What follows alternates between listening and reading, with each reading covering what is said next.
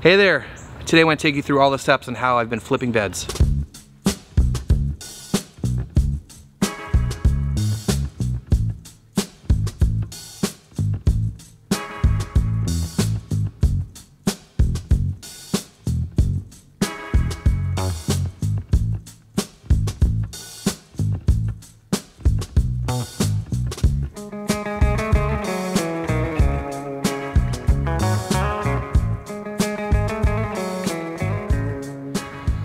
I did a video last year about how flipping beds on my farm, and it's changed a little bit, and I always try to simplify things whenever I can.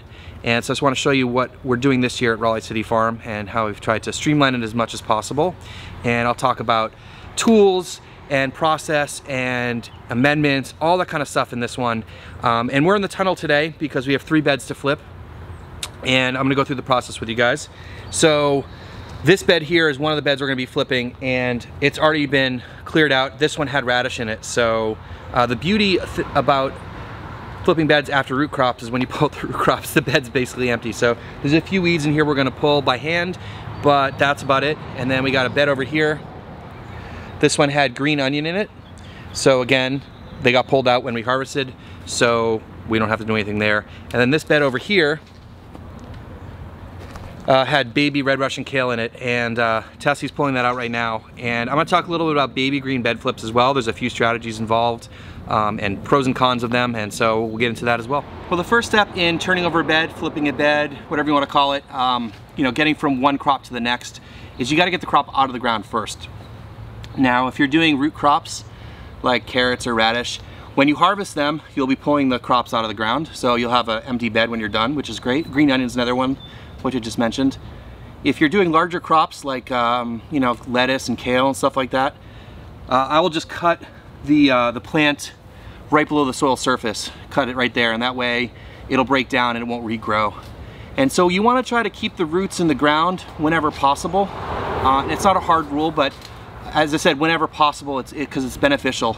And the reasons for that, um, when you pull the plants out, it creates more disturbance in the soil, which you don't want but there's a lot of good things that happen because when the plants are growing, the roots going in the ground, they're creating channels and pathways in the soil and keeping it looser. And so by keeping the roots in the ground, they tend to keep the soil um, fluffier and you know more more access for other roots, worms, moisture, all that kind of stuff. There's also a lot of great biology that goes around, goes on around the the roots. And so by keeping that in the ground as long as possible, you keep that biology active until the next crop comes in and then that starts over again. So it's best to leave the, the roots in the ground whenever you can. Now, it depends on what's coming out, what's going in, what you have time for. So for example, this is a bed of uh, baby red Russian kale that we've gotten, I think, four harvests out of, and we need the bed, and we need it today because we have peppers that need to go in the ground. So we're just gonna pull this out, and we're just pulling it out by hand. And there's a lot of reasons that this is not ideal. One is it takes a lot of time, and it's really annoying because you're bent over.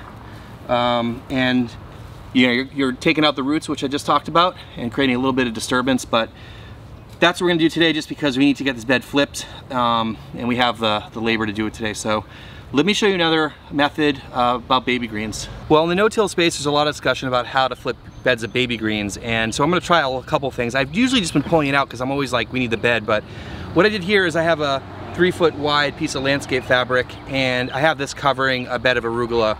And what we did before we put the tarp down is we just put down a little bit of compost and watered it really heavy to try to encourage the breakdown of uh, the crops that are in here. So this has been about a week.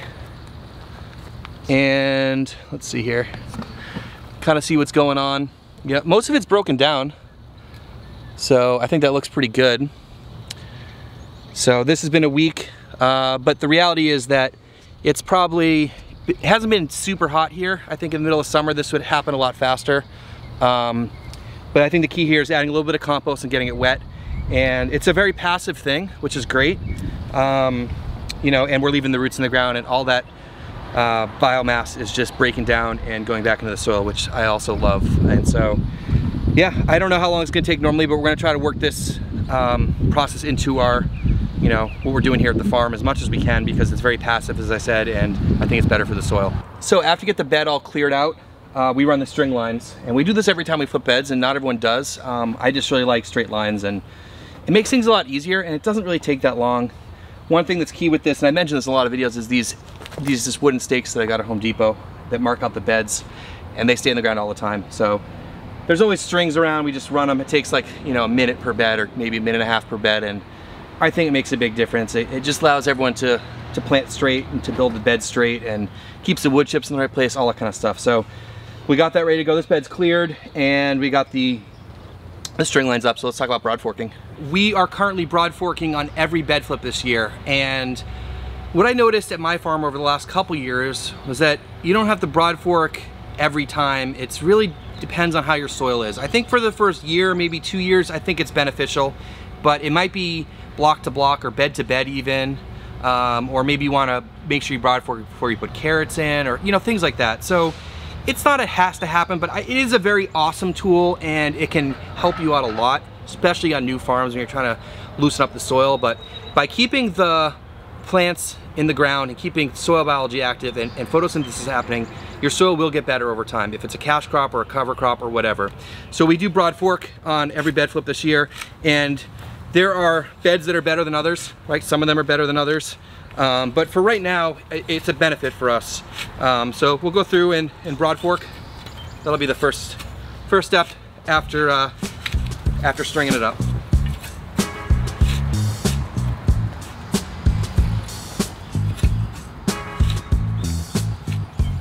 All right, so after broad fork, we're gonna be adding amendments. And let's take a minute to talk about amendments here. And these are the things that we're using right now, but I don't want them to be like what you use necessarily. You need to know your soil, your amendments, what your soil needs, all that kind of stuff. I've used this compost for a couple years now, and so I'm pretty comfortable with it and what I like to add and, and things like that. And so uh, these are my recommendations for us and don't just like use these blindly. You need to learn about all the different things that you're using. And one thing I've been talking about a lot lately is try to use as many inputs as you can from your local area. And if they're from a waste stream, that's even better. So like our compost, for example, it's made up of a lot of food waste from North Carolina. So that's great. Uh, the feather meal that we use is from a, a chicken facility in North Carolina. That's great as well.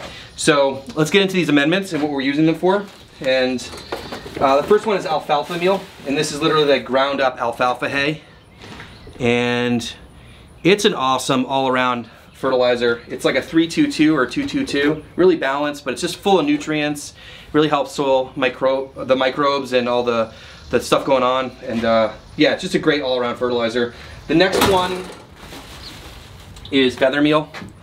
So this is literally just like ground up feathers from a local chicken facility. There's probably a little bit of blood meal in there too. Um, this one's just pretty much a straight nitrogen addition. It is a slow release nitrogen though. It's like a 1200 or 1400. And then elemental sulfur, which is just literally sulfur. And we're adding this for two reasons. One is um, our sulfur was a little bit low in our soil and it also helps lower the pH and we have high pH soil and our compost is also high in pH so that's what we're doing. In terms of volumes, uh, we're adding, or weights, we're adding five five gallon buckets of compost on our beds and they're 50 foot by 30 inch beds. And we're adding three pounds of alfalfa meal, we're adding three quarters of a pound of feather meal and a pound of sulfur. And that's what we're doing on our bed flips for now. And we'll keep an eye on it. So let me show you guys what that looks like. All right, so just finished broad forking this bed and we're gonna put down compost. And one thing that's helpful is if you just get your five buckets and you space them out ahead of time. So then when you're putting down the compost, you kind of know how far they should be going. So for us, we're doing five buckets on a 50 foot bed. So every 10 feet. So, and one thing that's helpful is if you just try to spread it across the bed, because we're gonna be tilting it in. So put down the compost and then the amendments.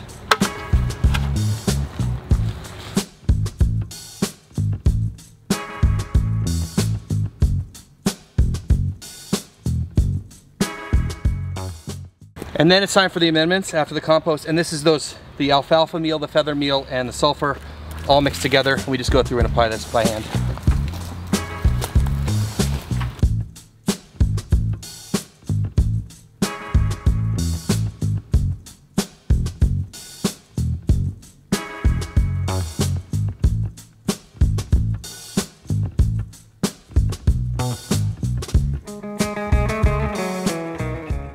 All right, so after the compost and the amendments are down, we use the tilther. I've talked about this in a lot of videos.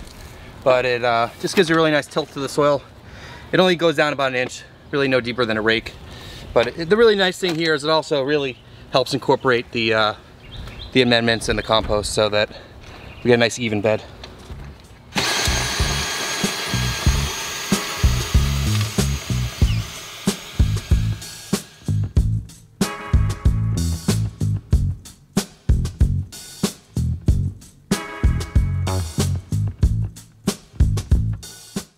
Last step really here before putting the drip back in and planting is the landscape rake. This is a 36 inch rake on a 30 inch bed, so I just pull it at an angle and just try to keep the level the same and just go across the bed.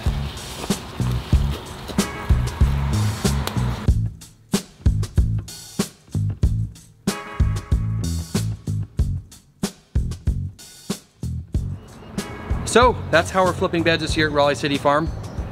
It's a pretty simple process. This bed is ready to go for whatever we want to put in here. We could direct seed, we could transplant, we could put drip in here overhead. We flip every bed the exact same way and that goes along with the, uh, the flexiculture idea. Hopefully you guys saw that video. And I tried to simplify this as much as possible. I actually, the crew here, everyone can sort of you know, run right after each other and get it done really quick. I actually had to slow them down a little bit today to let me film this. But uh, yeah, we got it done. Um, and just to go through some of the steps again really quickly, just to recap, we're gonna remove the crop and you can either do by pulling it out, um, but whenever you can leave the roots in the ground, I think that's beneficial. So cutting it at soil level, right below soil level, or if you can tarp it and let things break down that way, that's also really good as well. Um, and then we broad fork, we add our compost and amendments, we tilth it, and then we rake it, and we're good to go. And I really am a big fan of the string lines and the permanent beds, and uh, you get a very professional looking bed like this that looks great and accepts pretty much anything you want to put into it, so that's great. And uh, anyways, uh, I just figured to update you guys with this. This is our preferred, uh, my preferred way to flip beds, and uh, just, it works out great, and look at it, it looks awesome. So Hopefully you guys took some of this, some good takeaways from this and this is helpful for you as you're thinking about maybe working on some of your systems or looking for some more ideas about you know how to flip beds. Thanks so much for watching. Make sure you subscribe and we'll see you in the next one.